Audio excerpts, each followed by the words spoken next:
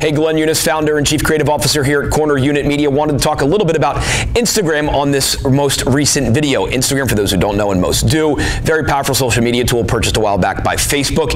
They recently implemented, recently implemented Instagram stories to compete with Snapchat, now Snap, and has not only done that, but sort of is starting to Heisman and push Snap away. Now, Snap does very well, but Instagram really jumped in and sort of stunted their growth and propelled them uh, again even more more. So I wanted to talk a little bit about Instagram, its growth, and what it has to offer, at least in the video world and in the live video world. So there's sort of three ways that one can either produce or consume content from Instagram. Remember, these are social media platforms, user to user direct, etc. So there are videos in the feed, right? Where you can sit there and record in your feed. You can go to photo, you can go to library, you can go to video. Video is you're recording for up to 59 seconds, up to a minute. You can play with the filters and such in the cover, and you load it in. You can also hold it for four seconds, stop it, it will pause the recording, right? And we'll hold it, you'll see the little circle bouncing waiting for you.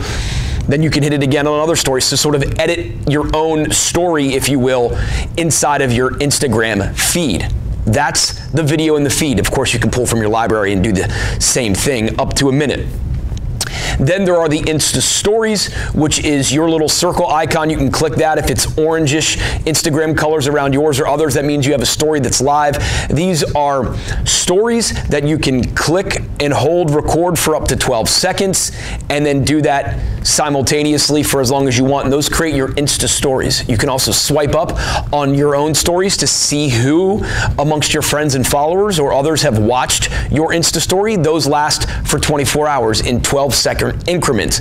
Then there is the Instagram Live, which is similar to Facebook Live, where you can, from your phone, go live right there to all of your followers and people that may catch you through hashtag or geotagging and you can just sit there as long as you want, either hold the button or put it on auto and record till your little heart desires on Instagram and people will watch it in real time. When you stop, I shouldn't say record, you can live stream that when you stop, it stops and there's no archiving of that. You can save a lot of these things and reload them in different ways, but in terms of the right now, live is live, stories are 24 hours, video lives in your feed forever, and you and, and we just went down uh, how those different video elements on Instagram differ in the platform. It is a very interesting thing that Instagram is doing. Their stories are really catching. I think the self-editing video feed thing is an interesting play that I don't see a lot of people doing, both in marketing and in just regular audience. Um, it's interesting. So we'll see how people use and what people evolve into using their Instagram. But I, I would be curious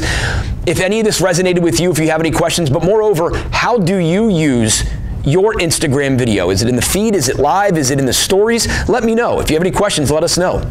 All right, that'll do it. Thanks, Glenn Eunice. If you want to hit us up, it's info at cornerunitmedia.com. Hope you enjoyed. Thanks.